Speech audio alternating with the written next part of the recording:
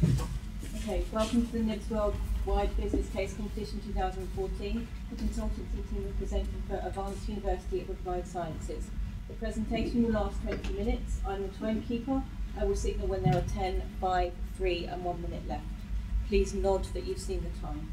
After the presentation, the judges will have 10 minutes for question and answers. Again, I will signal the time, 5, 3 and 1. Please nod. You must stop when I indicate the time is up, even if you're not quite finished. I'll now let the judges introduce themselves. After the introduction, you may begin. Okay, thank you very much. Um, my name is Morgan and my team here represent the executive of the Tennessee Valley Authority and I will let them introduce themselves. I'm Fiumi and I'm the project manager. My name is Greg Talent. I'm the Business Development Manager. Guy Bridger from Finance. Okay, uh, we are very interested to hear what you have to say to us. So, you'd like to introduce yourselves and over to you. All right, welcome everybody to our presentation. Welcome Morgan. Let me first introduce ourselves. To my right, this is Rutger. To my left, Bramut, Frederick, and myself, Florian. And today we would like to give you a good solution for your current problem. First of all, we come from the Netherlands. We are Breda Consulting. And Breda, it stands for Best Recommendations because we operate excellent, detailed, and accurate. And this presentation is targeted at you, Morgan, at the Tennessee Valley authorities. Let me first talk about our structure. We are going to begin with the key issue formulation, which is your strategic problem. Afterwards, the stakeholders' needs definition, then an executive summary, which is our final recommendation. Afterwards, an internal and external analysis, which results in a short SWOT analysis in the end. Then we talk about how to increase your capacity, which is of course very important. Afterwards, we also talk about a shift from peak to basic load, and we will finalize the presentation with educating your consumers and a short recommendation in the end. So let's come first to our key issue, to your strategic problem and what you have to do. How can TVA, how can Tennessee Valley Authority satisfy the different needs of its various stakeholders best? So that's the strategic problem, that's the main issue you have to focus on, and we have a solution for that. In order to find a recommendation for this, we first have to discuss the stakeholders' needs. First of all, that's the supply of power to cover the increasing power needs. The market is growing by 1% every year, so you have to definitely address this problem. The two main questions are how to increase your capacity and how to finance your expansion. Secondly, a very important need for the stakeholders is a shift from the peak to the base load. So that's even more important for you as a company and for you as the vice president. Because in times like, for example, in the evenings, of course, more people use electricity, and the big problem is you cannot store it. So that's why you have to find a solution for that. And we defined the question which pricing model should be used here. Last but not least, for the stakeholders' needs, there is cleaner and more re renewable energy is required. And the main question here is how can energy use efficiency be improved? So that's what you also have to address. After the short analysis of the stakeholders' needs, we come to our executive summary, which is the solution or recommendation to your strategic problem. That is, we recommend to you to build six natural gas plants, and secondly, to implement an awareness campaign to change the consumer attitude and behavior on solar energy and power usage. So those two are the main basic points of our recommendation, which you have to address, and this will be now explained in our analysis by my colleagues. Let me now hand over to my colleague Rutger. Thank you. Okay, we did an uh, analysis, internal analysis, to see what how is your business operating at the moment. Okay, you have a very uh, broad mission. Uh, you want to bring reliable uh, production and have a good pricing for your customers. Um, you also take into account the environment in which you're operating. So Tennessee as a landscape, there are some uh, drought problems with uh, shortage of rain, you also want to try to address that problem as well. Um, and you want to seek a partnership with your local government. You also already has a big uh, partnership with the US government as a whole, but also local government will be more and more important for you as a company. Then we looked at your current production, um, which is shown in this graph, in this diagram, sorry. Um, at the moment, you are producing 50, 55% of your production is fossil fuel. Therefore, you have a big carbon footprint on this, uh, yeah, on the landscape in Tennessee. Um, and for instance, the renewable sources um, and natural gas, which has a much lower footprint, are very limited. Uh, we also can see you have to buy 11% uh, more energy from competitors because at the moment you can't fulfill the total need of the population. Further, we looked at your uh, AAA rating, which is a very good point, of course. Um, the main reason you have a AAA rate, uh, rating is that you are guaranteed by the US government.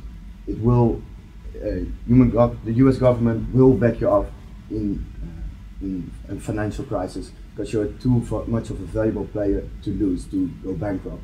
We have power losses, etc., and we can't happen. It, it may not happen. So therefore, uh, guaranteed by the U.S. government. Um, that results in your uh, high long-term debt ceiling. It's over. It's 30 billion dollars. So um, that's the figure the U.S. government is guaranteeing. Um, and you also have a good involvement in the green revolution. Um, you're still producing with a high carbon footprint, but you are willing to change. Um, but you have to do that much more. For the external analysis, I give the word to Bramut. Thank you. For external analysis, we looked toward the DESTEP analysis.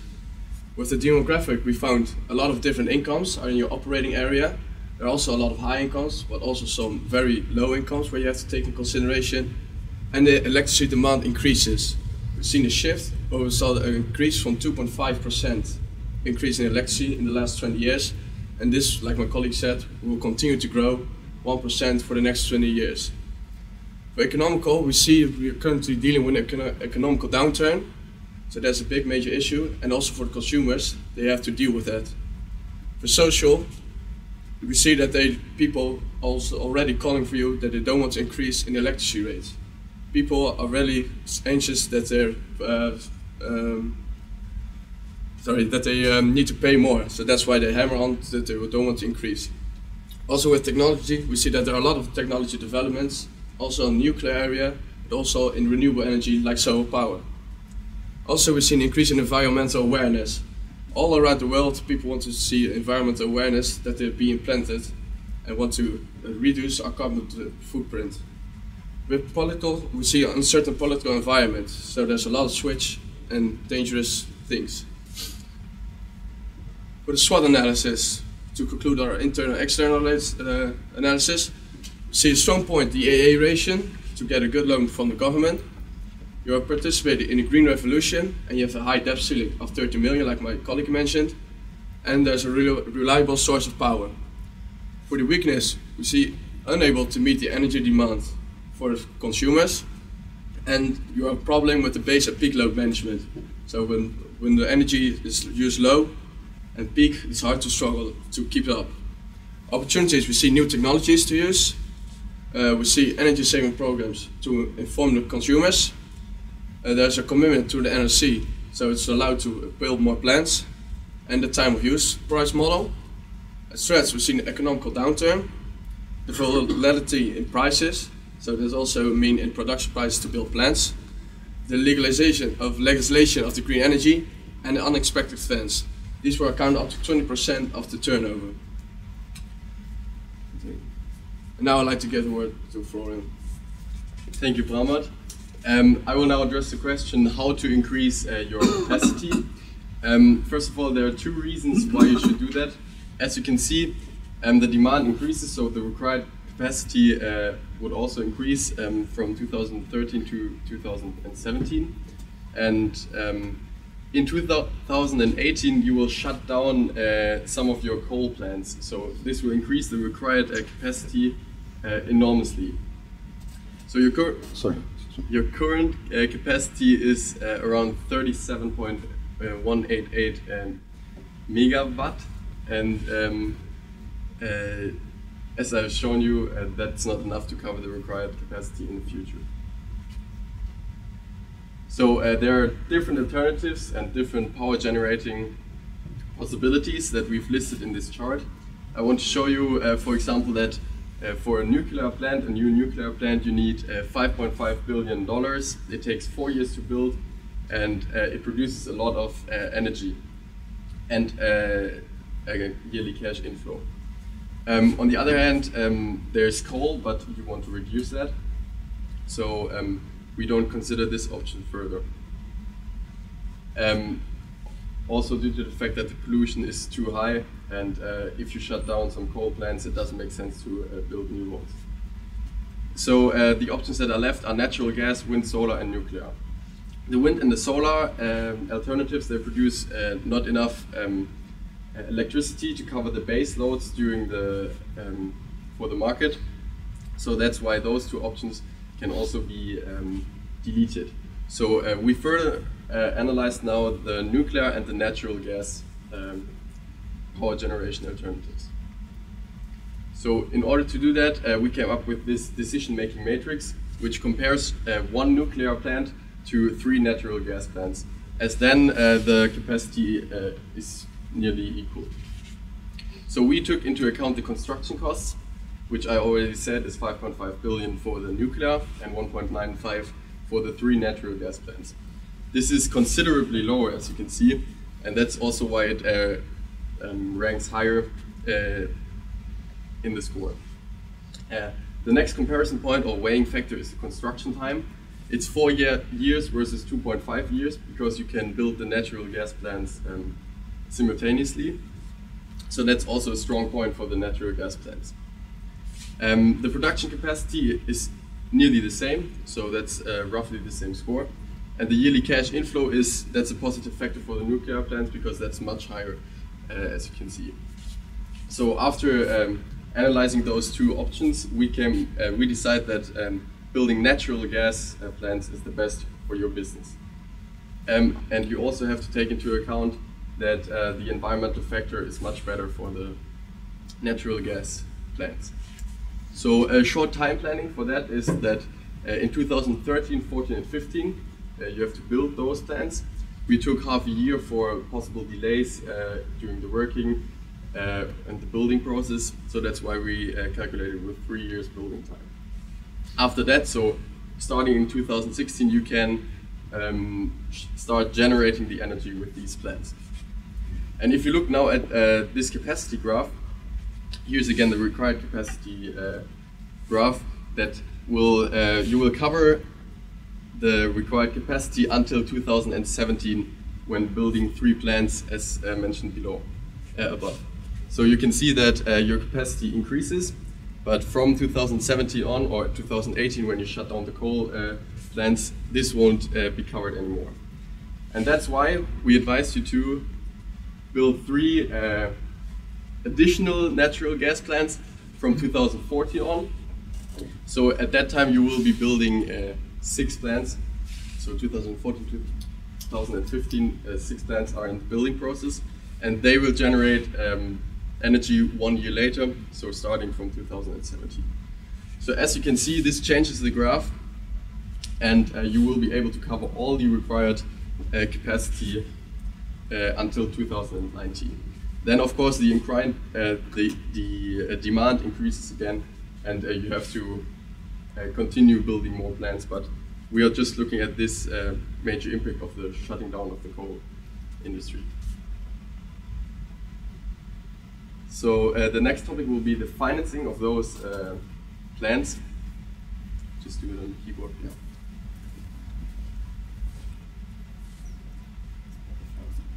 Yeah, it's wrong. Well, for the financing, I still can say something about that. We want to split the financing into a loan and in a government bond issuing for so 30-year bonds, and uh, this will be done, I think, around 50 to 50 uh, percent each. So taking up a loan and issuing the government bonds. Um, continue. sorry for that. Furthermore, uh, the financing also includes um, a marketing plan, um, but this will be discussed by my colleagues. And I, I hope the presentation will be Yeah. there. Yeah, So Yeah, we'll just pause for a minute while the Okay. presentation Thank you very much. reloads.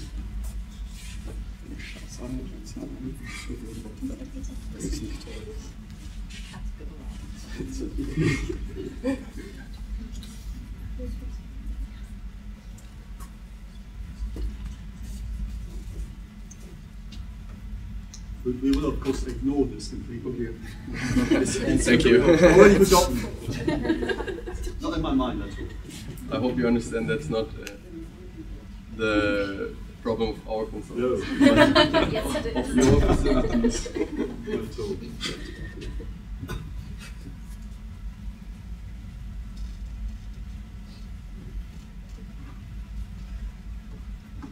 That's why Bill Gates is so rich.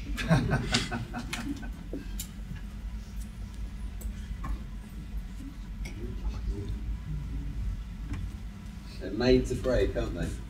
Mm-hmm. That's it.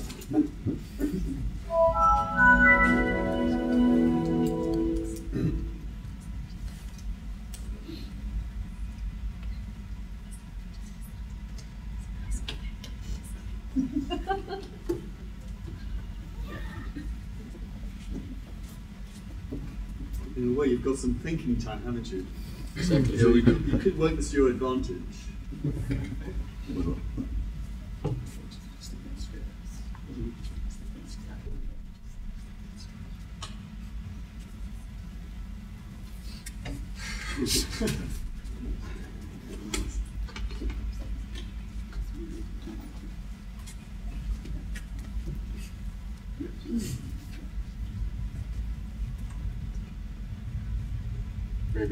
Maybe it's completely broken and won't work again. First time. Yeah.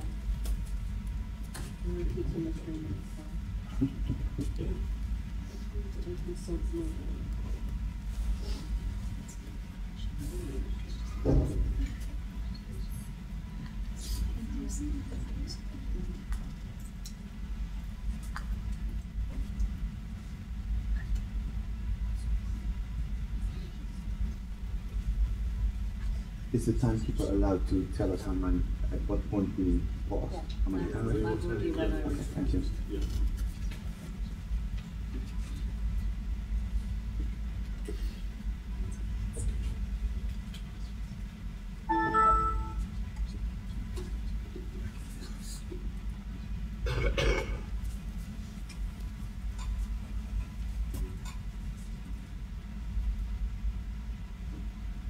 I hope that doesn't happen again. My advice not to use the clicker. Not the clicker? Because it might happen again because of the clicker. You never know. Well. Thank you.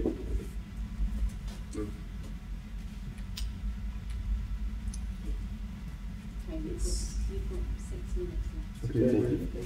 So uh, I keep this short because I already talked a little bit about it. Uh, we want to uh, split the investment in taking up a loan and issuing new 30-year government bonds, and uh, the uh, the investment will be used for uh, the new plant productions, so the building of the plants, and uh, the marketing costs. But this will be explained further by my coll- colleagues, uh, Ramad and Rita.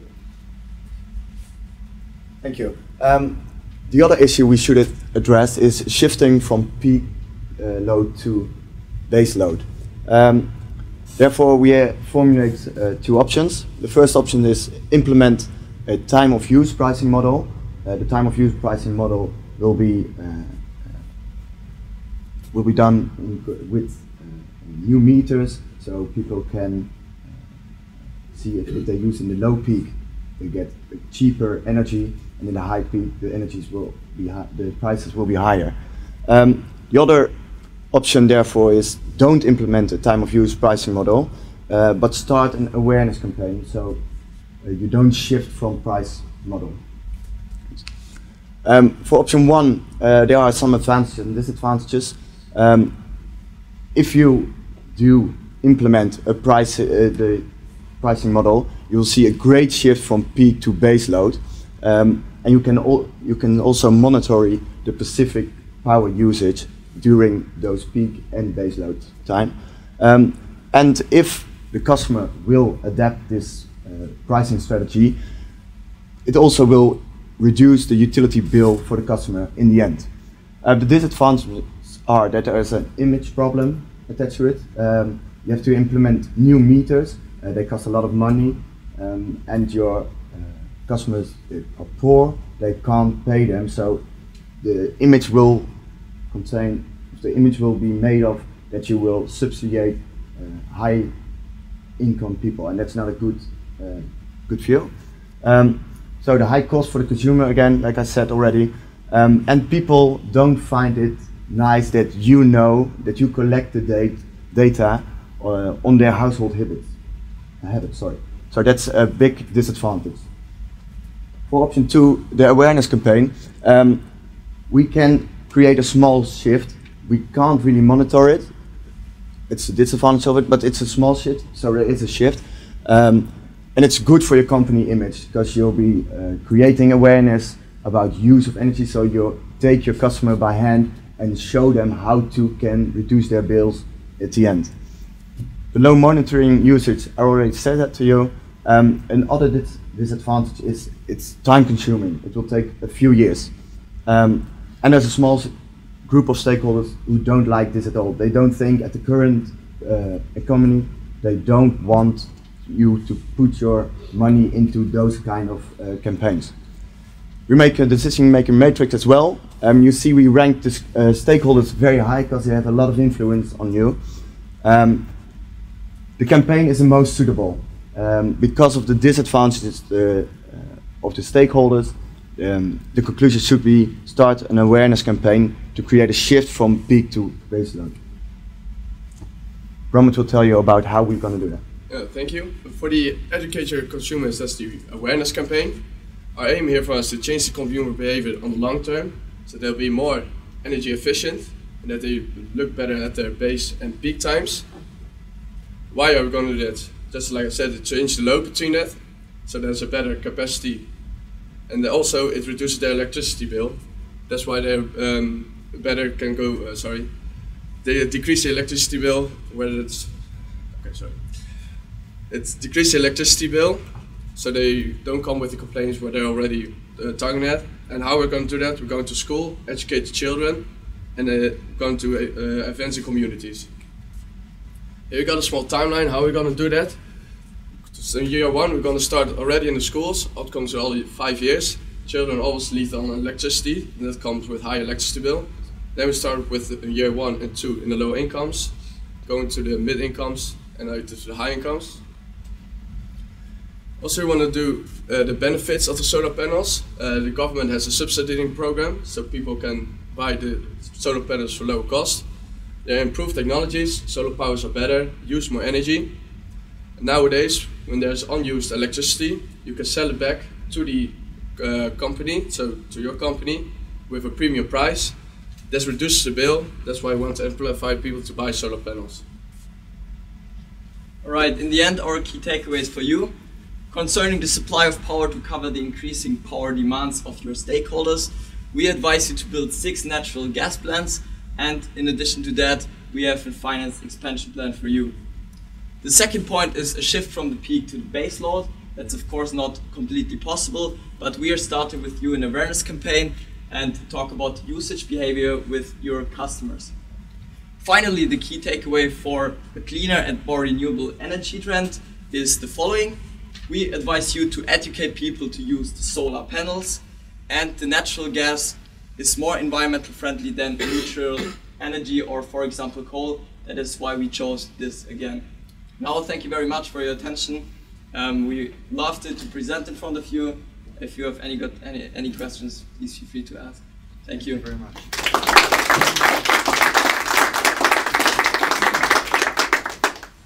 Um, okay, if we can start with some questions from the end, Guy. Um, yeah, you mentioned um, you're keen to encourage people to use solar energy. Can you explain where you Yeah, uh, the way we wanted to do that, um, energy, uh, solar energy plants will take up a lot of uh, space, a lot of ground, a lot of acres to uh, fulfill the, the, the use, the, the, level they can produce. But by um, encouraging people to buy solar panels they can put on their houses, they will, uh, they will produce their own electricity. So their own electricity will make sure that their, that their bill will be reduced by a subsidiary from the government. That will the cost for the solar panels will be lower, and also because the technology has improved, solar panels can produce more now, also during cloudy days, um, and therefore. Um, yeah, the bill also reduces because they produce more, and if they produce more than they actually need, you already buy that at premium price back and you shift it to other customers that need more energy. So therefore we thought you could build your plant, but it takes a lot of acres. And we think by promoting the solar panels, you also get the acres, but not just on the ground. It's already on uh, housings and other buildings. Great. Um, energy supply and all its issues is a long-term business, yeah. really. And uh, I'm curious, you only uh, worked it out to 2018, 2019. You know? I, I didn't see any figures to show me what might happen after that, you know, for the next 10, 15, 20 years. Have you considered that? Well, uh, the demand uh, is expected to increase by 1% um, each year uh, for the next 20 years. So that's uh, over the time horizon that we've chosen. Um, but um, you're, you're, currently introducing four, every four years one nuclear production plant to, co to cope with the increasing demand. And we are advising you to build, uh, instead of one nuclear production plant, three new natural gas uh, plants in this four-year. Uh, um, I don't see any projections moving beyond 2018. No, because there's we expect it to be uh, just continuously grow by one percent and introducing another natural gas plant, uh, three additional natural gas plants every four years. Okay. Con concerning the renewable uh, variable, we just uh, told you that you should educate your consumers about the solar panel thing. And the big disadvantage of producing them by your own is the very high costs and the very low cash inflow. And that's why we recommend to you to educate consumers to buy it on their own somewhere else. And then you will profit from them because you buy the exact excess capacity which is produced by them. Okay. Uh, the solar panel for the people that has income how, how is it going to be cost for them? How are you going to suggest manage this? Well, the te technology advanced very much in the last years, so people um, will get a lot of electricity out of it. And that's why we want to go to them, educate them of the high uh, profitability they, for them. They have the equipment to sell. Excuse me? For the equipment to sell, for they have access to it. Yeah first they have, of course, they they are starting their own solar uh, panel company, right? Um, so they use their own um, solar power during those peak moments. For the base load, they will have to uh, have your energy. So they you see the swift the, the swift from the load from the peak to the load. So they will cover that. So you immediately don't have to produce that much of a peak uh, energy anymore. Um, and by that, sorry, that peak is always at a certain level. And if they produce much more energy of that because of the product development, um, you will, you can buy that premium back and shift it to other. Um, I think your question was how much uh, one of the panels will cost the uh, customers, right? So uh, we advise them to buy those panels from an external supplier. So uh, we just tell them that uh, they be can benefit a lot from the, these panels, that we will buy their excess um, electricity back at a premium price, but we advise, advise them to buy the, uh, the panels themselves from an external supplier. Okay, can you uh, just talk us through some of the uh, risks associated with your strategy. Uh, perhaps we could talk about external risks. Um, well, of course, you can you can never exclude risks at all. But if you buy, uh, build such a plant, you know exactly how much it will produce, and that's why the, the risk is very very low in this case. And we didn't consider it in our presentation because you build the six plants, you produce the energy, and the risk of I don't know an earthquake is not that high to consider it in a 20 minute presentation for you. But we have other risks associated with legislation, with politics, with social issues around green Exactly, yeah. supplies. Yeah. How those factored into your decision? Well, the, the risk is especially high concerning the legislation, for example, for nuclear and for coal plants, uh, because the waste disposal, uh, the regulations are um, increasingly strict. And for the natural gas plants, uh, the environmental impact is uh, not as high as um, for those two uh, energy generating um, alternatives. So the risk for legislation is lower for the natural gas production. And that's why we chose it for that. Other questions from my colleagues? Yeah, um, when you considered nuclear, was there any overriding factor that put you off? Of the nuclear uh, building. and Yeah, I've seen your cost comparisons, Yeah. which is very straightforward, as I understand. Um, But we thought, for example, Fukushima, uh, you saw what can happen when uh, there is a, a destruction of such a plant. We think the impact on the on the whole world is uh, too big um, to to uh, support, uh, and that's why we think uh, building nuclear uh, new nuclear plants are um, is not the right decision. In addition to that, our focus in this presentation was on your stakeholders, so mainly on your customers. And we think, we consider that your reputation for that is very important. And the reputation concerning the gas plants is a lot better than uh, concerning the uh, nuclear power plant, what we have seen in Fukushima. in the long in the longer term, um, just to probe a little bit to find out a bit more about your um, your decision making behind the finances. Um, you've come up with some numbers, but um, just if you could give me a bit more information about what you think about nuclear, because we've got a lot of nuclear power in play, and we we don't have any problems with running nuclear power plants. or Utilizing you know that as a resource and, and, and supplying it to our customers apart from the peak load problems, you know, that's something we have to manage internally. As stated in your mission, also you are uh, really looking at the local uh, environment as well, and uh, the waste disposal is a big problem for the nuclear plants. So uh, the derivative, I think, of uh, the uranium uh, is highly radioactive, and uh, you would have to find solutions for disposing the waste, which will increase your costs and uh, that's a big factor for us to uh, not choose uh, for the nuclear plant, as this has to be uh, stored in, in the area where you operate in. Very good, thank you. Um, I suppose suppose customers don't go along with buying solar panels, um, you know, because maybe they can't afford it. Um, what what's the contingency in that case? Well, um, because you're really backed up by the US government, you think the, the subsidizing is very, very important for that. But um, yeah, you can you can persuade your government to, to do that because they see they will get their environmental uh, footprint down. Houses will be their own uh, factory plants. Sorry. Um, sorry, I lost my story. Um, Solar panels expensive.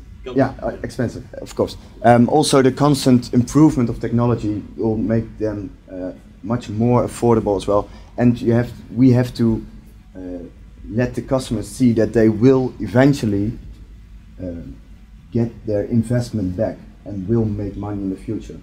Um, yeah, we don't have a, a time frame for that because we don't know what the production costs of solar panels are at the moment. Our But- educational plan is focused on the long run. Thank you very much. Okay.